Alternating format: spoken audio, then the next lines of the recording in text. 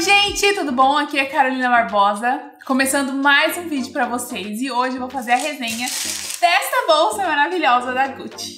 Vamos lá?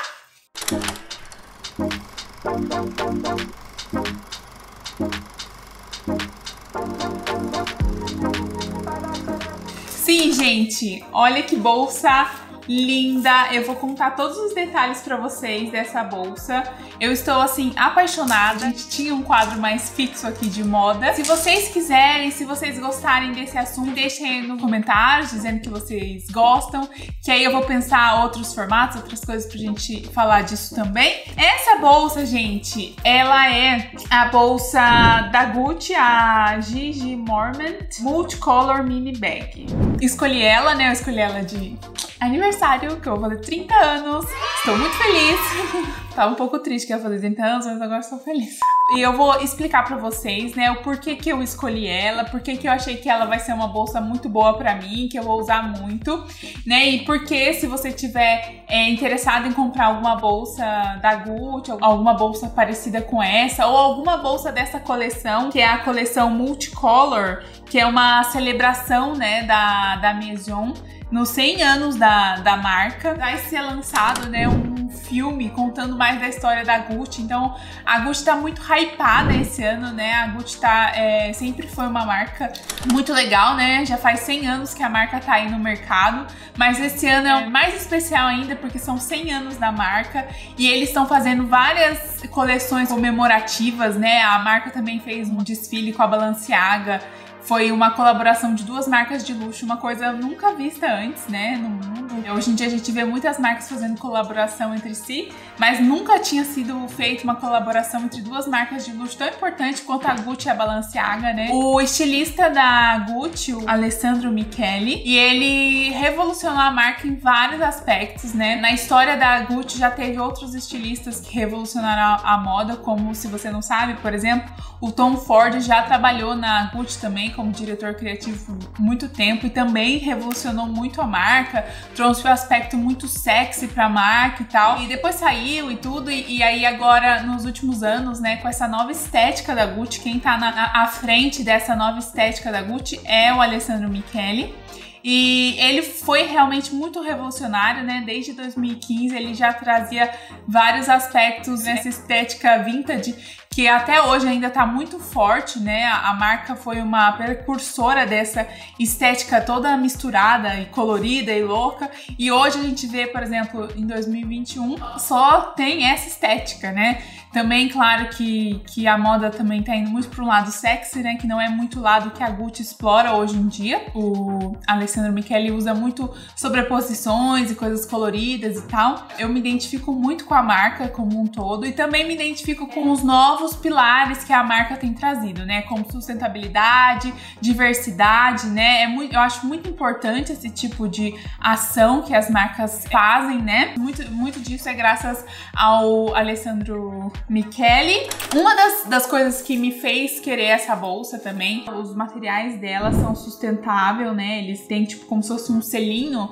né, de sustentabilidade. Inclusive vários produtos da Gucci estão com essa mesma linha, fabricação e tal. Então os produtos são rastreados, tá? Para uma gestão ética e sustentável de suas operações e processo de produção também, tá? A partir de 2018 as fábricas próprias da Gucci, né? Elas são neutras em emissão de carbono. No site da Gucci, né? Eu vou deixar aqui para vocês. Tem uma parte lá que chama Equilibrium que é uma parte onde você pode ver todas as ações que a marca está fazendo, né, da parte de sustentabilidade. São muitas coisas muito legais, assim, que a, que a marca faz. Tô muito feliz com esse novo movimento, né, do mercado de luxo, né, que agrega produtos de super qualidade, de alta qualidade, com longa duração, né, produtos que você compra agora e você pode usar, assim, para sempre, né, e geralmente também você consegue passar para outras gerações, né, ou para outras pessoas também. Se você um dia não quiser mais, você pode vender num brechó dá para alguém porque ainda tem valor, né? Continua tendo valor, não é uma coisa que perde valor. Isso é muito bom para sustentabilidade, né? Porque todas as vezes que você vai comprar um produto, levando em consideração ali, né, como usar, qual vai ser as formas de usar e também levando em consideração que não vai ser um produto que você vai usar ali uma estação e passou, né?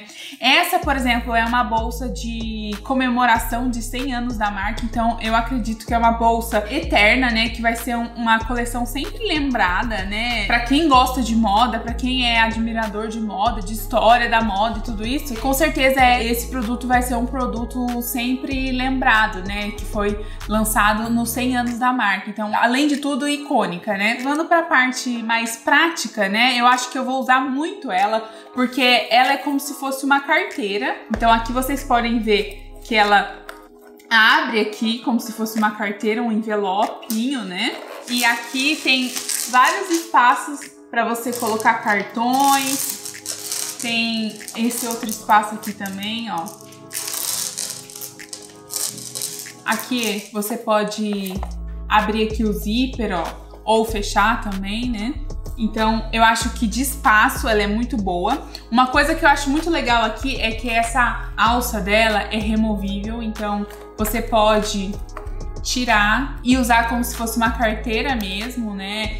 Pra sair pra jantar, coisas assim, eu não acho que ela vá muito bem pra, tipo, festas. Ó, aí você pode usar ela assim, né, sem alça.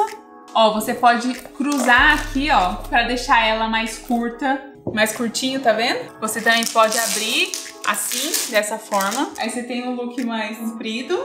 Você também pode dar uma volta aqui, ó, e usar ela assim, mas como se fosse baguete, sabe? Isso foi uma das coisas que me fez ficar apaixonada por essa bolsa, porque eu achei que ela é uma bolsa super versátil, sem contar que ela tem aí três cores principais que é a vermelha, rosa e verde, né? Então, qualquer roupa que tenha rosa, vermelho ou verde é super fácil de combinar. Também é super fácil de combinar, por exemplo, com look todo preto, com look todo branco, todo jeans. Se você usar uma camiseta branca e uma calça jeans, ela vai super bem também. Também vai super bem com looks mais, um pouquinho mais chiques, como eu falei, né? Porque ela vira uma carteira e aí você pode usar para sair assim, para jantar ou coisas assim. Então, eu achei que era uma bolsa super versátil, né? Eu mostrei aí para vocês quatro formas diferentes de organizar a alça dela para você usar de, de formas diferentes. Isso ganhou meu coração. Ela é feita na Itália e o forro aqui dela tem uma parte que é de couro e uma parte que é de viscose, tá vendo? Então aqui essa parte aqui é couro, né? E essa parte aqui é viscose. Tenho certeza que eu vou montar muitos looks, tenho certeza que eu vou usar muito. As ferragens são prata, né? E, ah, eu gostei muito, achei que ela tem um tamanho bom, ela não é nem uma bolsa muito grande, nem uma bolsa muito pequena, né? Eu gosto de bolsa grande, eu gosto de bolsa pequena, eu gosto de todo tipo de bolsa. É bolsa, eu tô gostando. Essa é uma bolsa muito boa pra ser uma, uma bolsa versátil, né? Uma bolsa que você pode usar aí com muitas coisas, então eu acho que isso realmente um, um ponto super positivo pra esse modelo de bolsa. Ai, tô apaixonada por ela, gente. Só quero usar ela agora, ainda nem usei, mas já quero só usar ela. Todo look que eu coloco eu já penso, ai, ia ficar ótimo com essa bolsa. Mas eu vou, vou usar, só tava esperando pra gravar esse vídeo pra vocês. E é isso. Espero que vocês tenham gostado desse vídeo. Curte, comenta, compartilha, manda pras amigas. Não se esquece de se inscrever no canal. Já aproveita e faz maratona, né? Tem vídeos aqui de moda, tem vídeos de beleza, também tem vlogs aqui. Tudo que a gente mais ama, né, gente? Ah, eu não sei, é tudo que eu mais amo. Espero que seja tudo que vocês mais amam, né? Eu tô muito feliz de ter essa turma aqui, né? É uma turma reunida, né? Quem, quem tá aqui no canal e tal, é uma turma reunida que gosta aí das mesmas coisas, né? Dessas coisas incríveis que a vida pode nos proporcionar. E é isso, espero que vocês tenham gostado. Então, um beijo para vocês e até mais. Tchau!